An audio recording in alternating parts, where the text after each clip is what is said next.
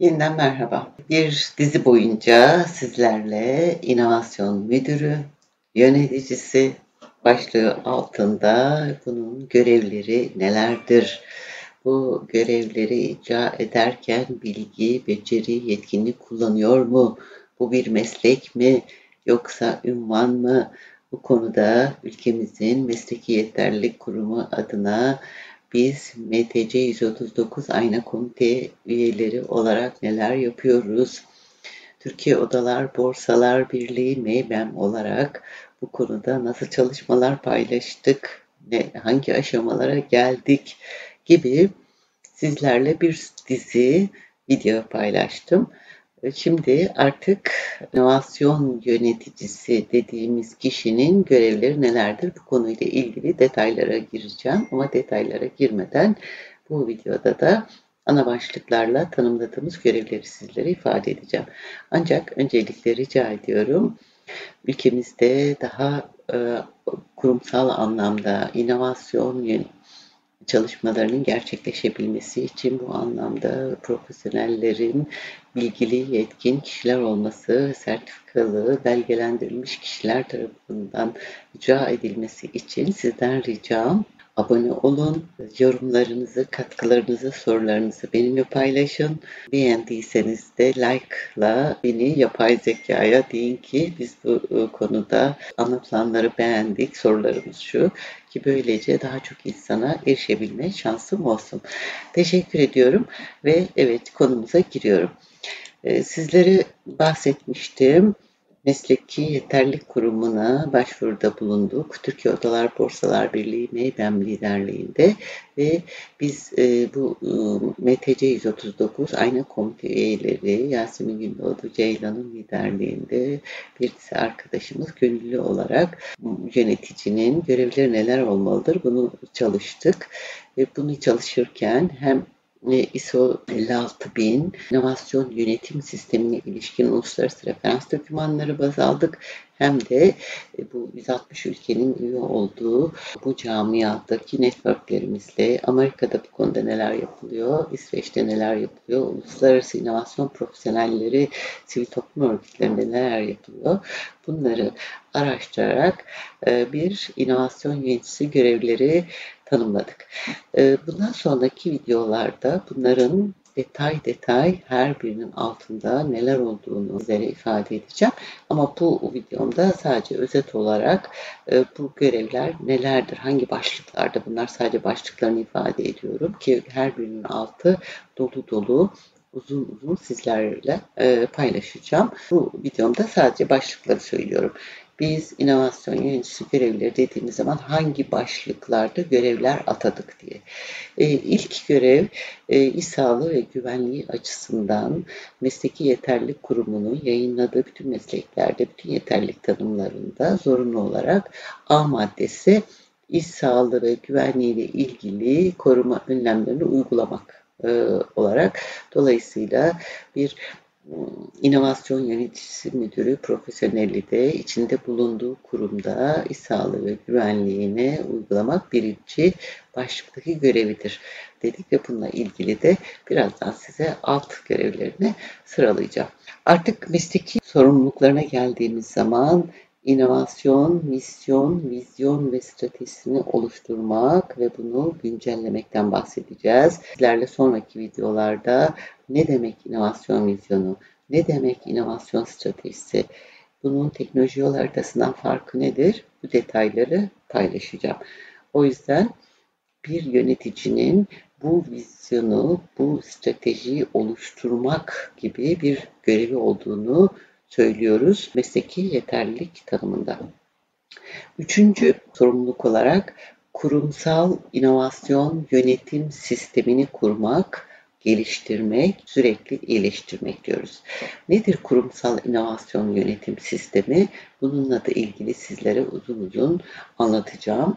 Ve 2014 yılından bu yana çalışmalarına e, gönüllü olarak Türkiye delegesi olarak katıldığım uluslararası bu ekibin içerisinde yaptığımız ve sonrasında yayınlanan ISO 56000 serisini baz alan bir rehber kitap İnovasyon ile Değer Katanlar kitabımı da bu inovasyon yönetim sistemi nasıl kurulur, nasıl geliştirilir, nasıl sürekli geliştirilir uzun uzun anlatmıştım. Bu kitabı da mail yazarak benden temin edebilirsiniz. Böylece de bilimkızı.org sayfamızı ziyaret ederek e, bir sosyal inovasyon projemiz olan Bilim Kızı projemize katkı sağlamış olursunuz diyorum. Dördüncü görev olarak, sorumluluk olarak tanımladığımız inovasyon stratejilerine uygun kaynakların, altyapıların sağlanması ve yönetimini gerçekleştirmek. Peki inovasyon stratejilerinin kaynaklar nelerdir? Hangi altyapılar inovasyon yönetiminde kullanılır ve bu kaynakların, bu altyapıların yönetimi nasıl gerçekleştirilir? Bunu da uzun uzun paylaşacağım sizlerle.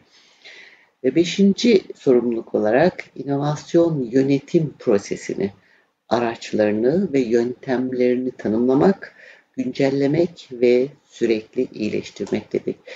İnovasyon yönetim prosesi nedir? Bir inovasyon girişimi nasıl başlar? İnovasyon süreçleri hangi adımlardan oluşur? Bunlarda hangi araç ve yöntemler kullanılır? Bunlar nasıl tanımlanılır? Bunlar ilgili de sizlere detaylı video çekeceğim. İnovasyon organizasyonunun yapılandırılması, kültürünün oluşturulması ve sürdürülebilmesi önemli bir inovasyon yöneticisi sorumluluğudur. Bunu da bununla ilgili de size detay video çekeceğim. Ee, lütfen her bir konu için sorularınızı benimle YouTube'dan, mail adresimden veya sosyal medya hesaplarımdan paylaşabilirsiniz. Böylece içeriği sizlerin ihtiyaçlarına, arzularına, isteklerine göre de geliştirebilirim, zenginleştirebilirim. Bir sonraki sorumluluk ise nedir? İnovasyon yönetim performansı. Ne yapıyorum, nasıl yapıyorum, e, stratejime uygun adımlar atıyor muyum? diye performans yönetim sistemini oluşturmak, değerlendirmek ve iyileştirmek konusunda inovasyon yöneticisinin sorumlulukları arasına aldık. İnovasyon yönetimin performansını değerlendirme ile ilgili ülkemizden iki değerli hocamızın da katıldığı, eş yazarları olduğu ISO 56008 standardı çalışmaları devam ediyor.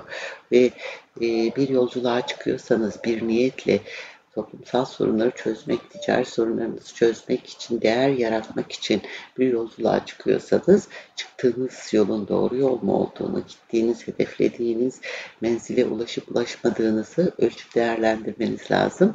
İşte inovasyon yönetim performans değerlendirmesi de bu anlamda size ölçme değerlendirmeyi nasıl gerçekleştireceğinizi anlattığımız bir standart olacak.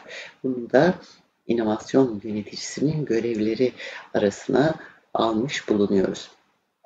İnovasyon tek başına yapılamayacak kadar ciddi bir iştir diye bastıra bastıra söylüyorum her konuşmamda ve inovasyon yöneticisinin sorumlulukları arasında da inovasyon paydaşlarıyla işbirliği sürecini ve fikri sınai mülkiyet haklarını yönetmeyi aldık. Bu iki konuda çok önemli. Bu iki konu hakkında da standartlarımız yayınlandı. TSE'den bunları satın alabilirsiniz. Bir tanesi inovasyonla işbirliğini nasıl gerçekleştireceğim? Hangi adımlarda işbirliği süreçlerini nasıl sürdüreceğim? Bunu anlattığımız bir standartımız 56003. Yine bir çok önemli başka bir standartımız var. O da ISO 56005. O da fikri ve sınai mülkiyet hakları yönetimi. Hem kendi iç e, e, gerçekleştirdiğim inovasyon projelerinde kendi fikri haklarımı nasıl korumalıyım? İnovasyon süreçleri boyunca ya da işbirliği kurduğum iş ortağımın fikri haklarına nasıl saygı duymalıyım? Hangi aşamalarda daha fırsatları tanımlamak, fikir üretmek, bunu geliştirmek, üretmek, tasarı sürmek gibi her bir aşamada bunlarla ilgili neler yapmalıyım konusunda 56.005 standartında detaylı olarak tanımlanıyor. Görevleri de bu işbirliği sürecini yönetmek ve fikri hakları yönetmek görevini de biz inovasyon yöneticisine verdik. Ve son görev olarak da mesleki gelişim çalışmalarını yürütmek diyoruz. Hangi alanlarda kendini geliştirmeli, neler yapmalı bu konularla ilgili de detay videolar çekeceğim. Tekrar tekrar vurgulamak istiyorum. Başlıkları öncesinden sizlerle e, paylaşmak istedim ki hangi konularda hangi detay başlıklara ihtiyacınız varsa oralarda biraz daha fazla detay bilgi hazırlayayım ve sizlerin işine yarayan bilgileri paylaşayım istiyorum. Ee, ilk görev ne dedik? İş sağlığı iş e, güvenliği e, konularında uymak ve bunlara uygulamak. E, burada üç alt görev tanımladık. Bu üç alt görevlerden ilki güvenli ve sağlıklı çalışma yöntemlerini uygulamak. Bunun içerisinde de üç alt görev var. İş süreçleri özelliğinden, hizmet alanından veya kuruluştan kaynaklanabilecek risk ve tehlike durumları ile ilgili birimlere, ilgili birimlere bildirimde bulunma. Araç, gereç ekipmanları, talimatları ve kuruluş prosedürlerine uygun olarak kullanma. İş sağlığı, güvenlik konusunda mevzuatla ve çalışma alanına ait kuralları uygulama. Bu birinci alt sorumluluğunun detay görevleri. İkinci konu ise bu sağlığı güvenliği ile ilgili sorumluluklarında acil durum planlarını uygulamak. Felaketleri hiçbirimiz istemeyiz ama başımıza geldiğinde ne olacak diye acil durum planları hazırlar kurumlar. İşte inovasyon yöneticisi de bu acil durumlarda çıkış ve kaçış kapılarına uygun ve planlarına uygun hareket eder acil durum ekibiyle iletişime geçer diyoruz. Görevlerinden birisi bu diyoruz. Acil çıkış ve kaçışla ilgili periyodik, e, periyodik eğitimlere katılır, çalışmalara ve işbirliğine katılır, tatbikatlara katılır diyoruz. Bu da ikinci görevidir diyoruz. Bir üçüncü önemli sorumluluğu da yine sağlığı güvenliği ile ilgili çevre koruma önlemlerini uygulamak. Biz sadece insan olarak kendi varlığımızla, kendimizi korumakla sorumlu değiliz. İçinde yaşadığımız doğayı ve çevremizi de korumakla sorumluyuz diyoruz. Orada da iki görev atıyoruz.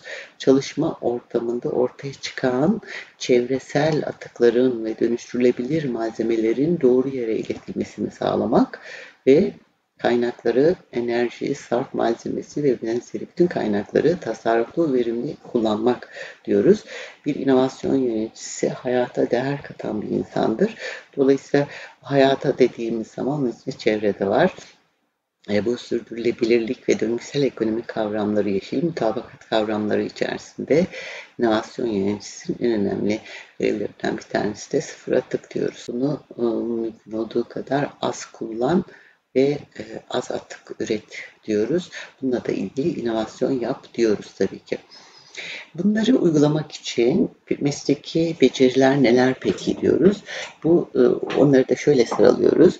Bu isim talimatlarına göre bunların uygulanma becerisi ve e, bu kendi iş süreçlerindeki makine ekipmanlarında güvenli çalışma becerisi, kişisel koruyucu donanımlarını kullanma bakımı, risk ve tehlike kavramlarını bilme, risk ve tehlikelere karşı yapılacak işlemleri bilme, acil durum talimatları ve bu talimatların uygulanma becerisi, iş yeri çalışma talimatlarına uyma becerisi, tıkları ayırt etme, kaynağında doğru ayırma becerisi, geri dönüştürülebilir malzemeleri tanıma ve geri dönüşüm faaliyetleri becerisi, çevre koruma talimatları ve çevre koruma talimatlarına iş süreçlerinin uygulanması becerisi ve çevresel tehlike ve risklerle e, bunların risklere karşı uygulanacak önlemleri hayata geçirme becerilerinde inovasyon yöneticilerinin becerileri arasına aldık.